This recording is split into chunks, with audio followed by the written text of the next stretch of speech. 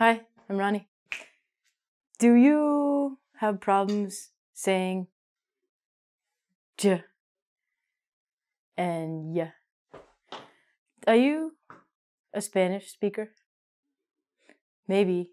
If you speak Spanish, so if you're from Mexico or Spain or other Spanish speaking places in South America or all over the world, it's going to be difficult for you to get the pronunciation of J like J and Y like yeah. Do you know why?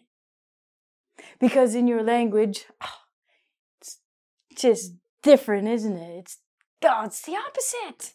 Why does English have to be so difficult with pronunciation? I'm here to help you. Um, maybe you have seen a lesson like this. I did a lesson like this a long time ago, years and years ago, really. But we had some audio difficulties, so I'm here to redo it back in the year 2015. Go for a time warp with me. J versus Y. First of all, let's focus on the mouth position and what we do to get the differences in the pronunciation of these letters. The first one, J. Your throat, the air is going to come out of your throat almost like you're yelling. So it's like J, J. Your teeth are a little bit apart, J.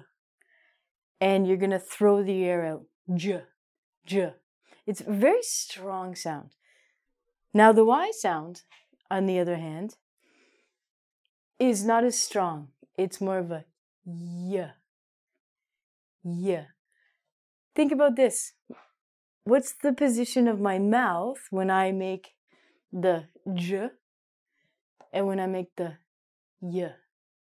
When I make the y, I get to smile a little bit. My cheeks are really tight, so I'm like yeah. Yeah. When I do the j, j, my mouth is more floppy and wiggly. So it wiggles like jello. The J, your mouth is not as tight. J. And more loose and open. And with the Y, yeah. You have to make your mouth tight. Your cheeks gotta be tight. These are your cheeks. Your cheeks have to be tight. And yeah, it's a much softer sound. Let's go through some examples shall we? Somebody's name, Jojo. Hi, Jojo, how are you? Cool. Jojo. J. Jojo. Oh, it's another name. This is not Juan. Oh no. In English, we say J. John. Hi, John, how are you? Cool, thanks for watching. The next thing we have a really, really fast airplane is a J j jet jojo john jet you try now.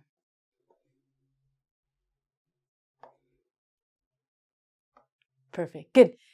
Next one. The word jeer. What does that mean? That's a strange word. I've never heard that.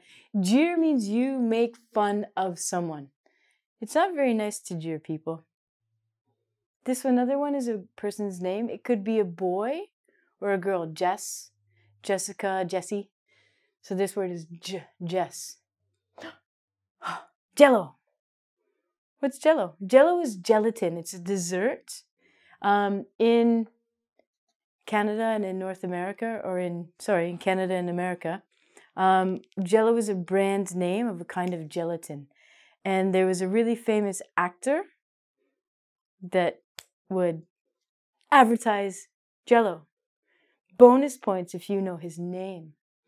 Jello pudding pops. We have the months of June and July. So, practice the J sound.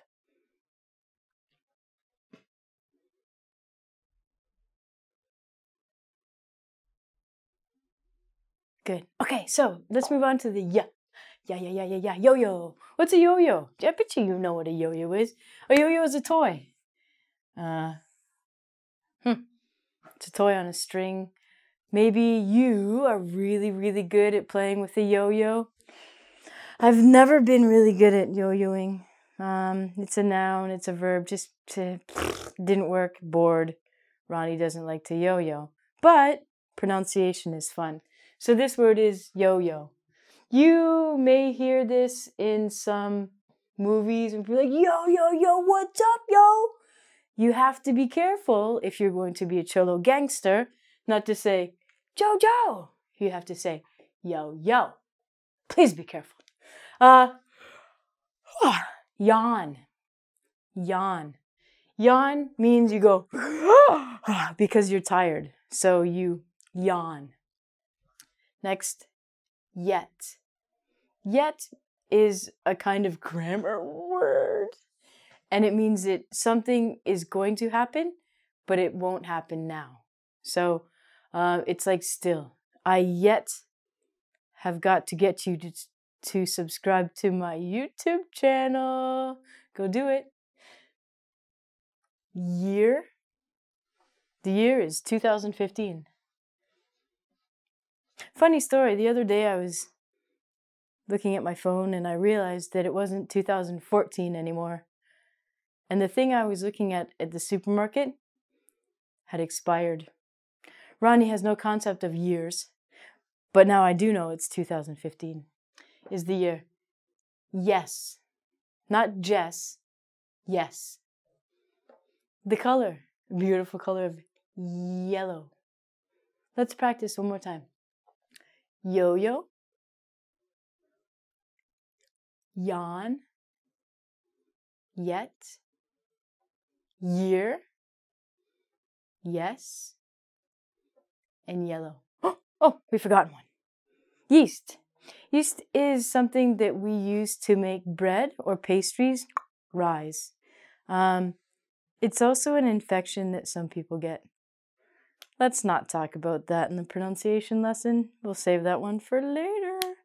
So, the next thing that we have to do, and probably the most challenging thing that we have to do, is comparing the two sounds. So, it's fine and dandy if you can just say the J's and then you say the Y's and you're like, yeah, I got it. No, you don't. You will only get it if we do this now. So please follow along. The J is Jojo. The Y is Yo Yo. Please repeat. Jojo, Yo Yo. Make sure that your mouth is really tight for the Y's. Tight mouth for the Y's. Jojo, Yo Yo. Your turn. Perfect. Next one. Hi, John. How are ya? John. Yawn. John. Yawn. Yeah, yeah, yawn. Jet. Yet. Jet. Yet. Jeer. Jeer. Year. Year. What year isn't it? Not what jeer is it? Jess. Oh, hi, Jess. How are ya? Cool. Yes. Jess. Yes. A lot of the time I hear people say, Jess. Where's Jess? Jess. Jess is here? No, Jess isn't here. You lying. Jessica is not here. Oh, you meant yes. Please be careful. Jello, which is a kind of dessert. Jello and the color yellow. Jello, yellow. Try and say this yellow jello. It's lime, lemon, yellow jello. Um, then we have yeast. The J words, these obviously don't connect, but we have June and July. If you have any other pronunciation problems, please go to my Facebook, which is Ronnie McEnglish, or hit me up on the website. I would be happy to try and help you figure out more of your pronunciation problems. From JoJo, John, and Jess, we're out of here.